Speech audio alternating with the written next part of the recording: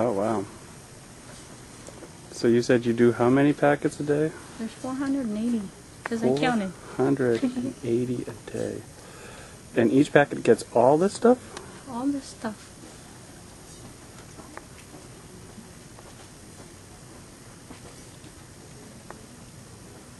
It's pretty impressive, lady. So this is another cubicle. What do you do here? Work first packets. These are work first packets. Yep. So you put all those together as well? Put them all together. And there's another one? I put all these together too. And what are these? These are Spanish applications. Oh, Spanish applications.